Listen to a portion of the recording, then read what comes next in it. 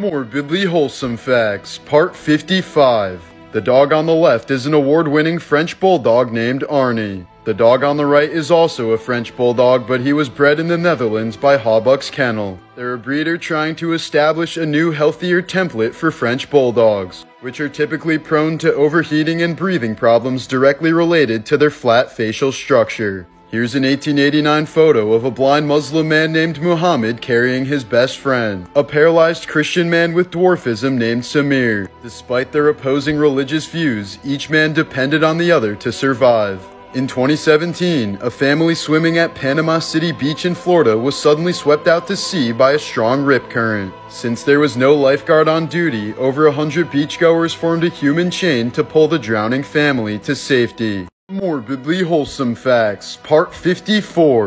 In 1967, line worker Randall Champion accidentally grabbed a high voltage line, instantly electrocuting himself and stopping his heart. That's when fellow lineman J.D. Thompson immediately rushed over and performed CPR until paramedics arrived. Champion ended up surviving, and this famous photo became known as the Kiss of Life. This beach in Turkey is one of the only beaches in the world that's accessible to handicapped people.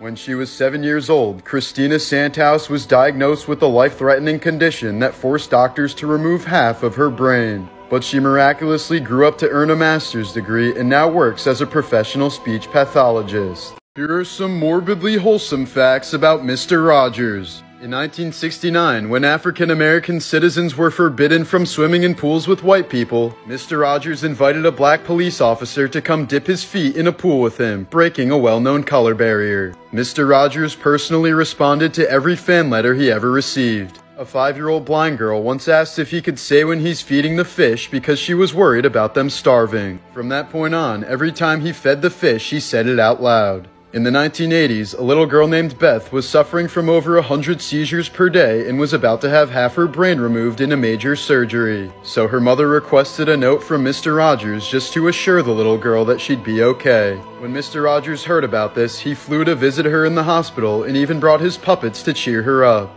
Beth survived the surgery and stayed close with Mr. Rogers until his death. Morbidly Wholesome Facts, Part 52. Peyo the French Stallion is a 16 year old therapy horse that provides comfort to patients suffering from terminal cancer. Each day, he chooses which patients he wants to visit by kicking his hoofs outside their doors. This blind pregnant woman got her ultrasound 3D printed and was overcome with joy. In 2005, a bald eagle was shot in the face by a poacher, causing her to lose her beak.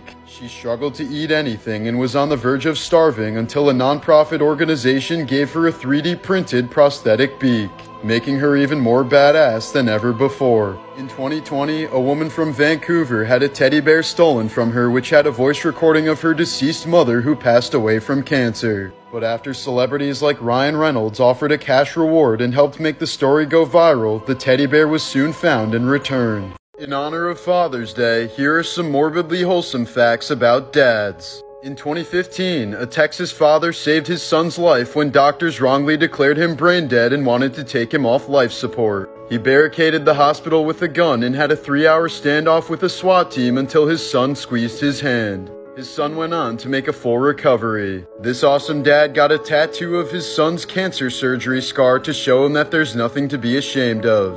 In 2012, a Texas father beat his five year old daughter's molester to death. But a grand jury declined to indict the man because they decided that he was justified in using deadly force to protect his daughter. This amazing father designed some shoes to give his paralyzed daughter the sensation of walking for the first time. A gay man from Italy named Luca Trapanese adopted a baby girl with Down syndrome after more than 20 families rejected her. Being a single gay man, he was told by social services that he would only be given a child with an illness or disability. He was later quoted saying, When I first held her in my arms, I was overcome with joy and felt that she was my daughter right away.